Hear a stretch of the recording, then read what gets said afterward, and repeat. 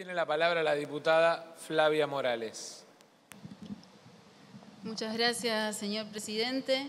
Eh, primero quiero agradecer a la presidenta de la comisión y a la vicepresidenta porque la verdad el trabajo que se hizo fue un ejercicio eh, amplio en el consenso de cuatro proyectos que tenían sus aristas diferentes y se logró un consenso. Yo creo que pensando en uno de los actores que no, lo que no se nombra dicen que no se visibiliza y acá no se nombró a los alumnos. Reconozco el esfuerzo enorme que están haciendo cada uno de los docentes de nuestra hermosa Argentina, pero nadie está hablando de la preocupación que tienen nuestros alumnos, nuestros niños, nuestros jóvenes, si pierden, no pierden el año, para qué se esfuerzan, dónde se conectan. Más allá de las familias, que es nuestro deber acompañarlos e y transitar, aunque no sepamos, esta crisis, crisis nos interpeló a todos, interpeló al sistema sanitario, a todos los, al sistema económico, pero y la educación no quedaba aparte. Y considero que tratar, aunque sea este artículo de manera tardía, porque ya está sucediendo, lo veo como una puerta que se abre y poder volver a hablar en este Congreso de la Nación Argentina de Educación. Y la verdad que lo celebro, lo celebro enormemente, porque si queremos definir qué modelo económico queremos, tenemos que definir qué sistema educativo queremos, porque ambos se conectan, ambos sirven. Con respecto a lo que se mencionaba y quiero reivindicar y aclarar, Conectar Igualdad en su momento fue un programa cuestionadísimo. Tuve el orgullo y con la cabeza bien alta lo digo de militarlo y recorrer cada punto de mi provincia y de entregar la computadora, y no solo la computadora, sino los contenidos locales que desarrollamos.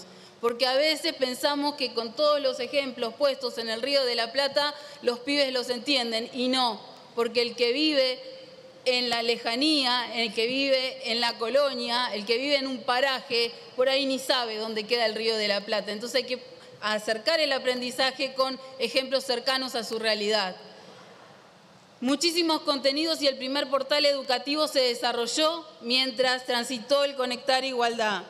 La verdad que yo no voy a redundar en todo lo que dijeron eh, los colegas propinantes, con algunos acuerdos más, con otros menos, pero sí sostengo esta postura, que de ahora en más nos guste o no, todo cambiará, como en este Congreso. Yo creo que estamos dándonos un debate porque no todos pensamos lo mismo en cuanto a este artículo y llegamos a un consenso y se logró gracias al trabajo que se hizo en comisión. Eh, cambió la modalidad, es una metodología, una metodología diferente. La educación a distancia es cierto lo que dice, por eso coincido en cada parte con cada una, porque creo que con la opinión de todos conformamos y hacemos eh, la, propuesta, más allá de lo partidario, la educación no tiene color partidario. Los pibes no es que son los pibes que no quieren ir a la escuela, son los pibes sin oportunidades. Y nosotros tenemos que estar acá para brindarles las mismas oportunidades al que vive en la capital federal como al que nació en Irigoyen, en Andresito, ¿Por qué hoy tenemos una fibra óptica desarrollada, un nudo impresionante, que es la red Capricornio? Y la desarrollaron, y lo digo con mucho orgullo, y sabe que esta temática a mí me apasiona. Y lo desarrollaron las provincias que tienen a los más pobres y a los más ignorantes, pero tienen cerebros, tienen talentos, y sobre eso tenemos que trabajar.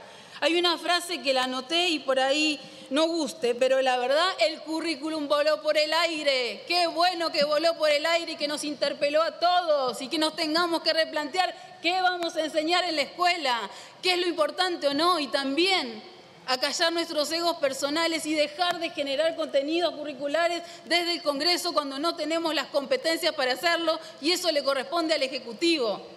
Dejemos de sobrecargar. Como docente, el programa me corría siempre. La continuidad pedagógica existió siempre.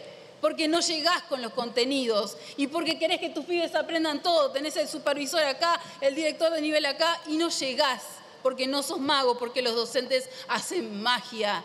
Y celebro que esto, en buena hora, dé la oportunidad para que debatamos entre todos y dirán en el medio de la pandemia, y sí, porque de esta pandemia podemos salir de dos formas. O seguimos transitando en el barro, tenemos las herramientas para generar un mejor futuro. Ya termino, presidente.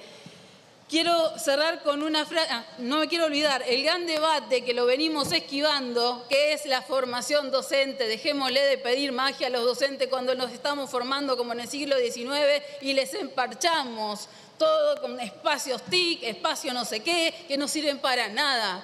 ¿Capacitamos? Sí, hacen lo que pueden. Hoy no es momento de capacitar, hoy es momento de acompañar, de estar al lado de los docentes y de generar plataformas que muchas provincias, no quiero sonar redundante, pero Misiones tiene su propia plataforma.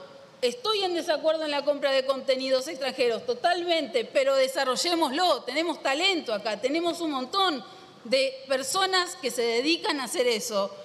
Eh, cierro, el futuro se construye, no se conspira ni se resigna. Muchísimas gracias. Gracias, diputada.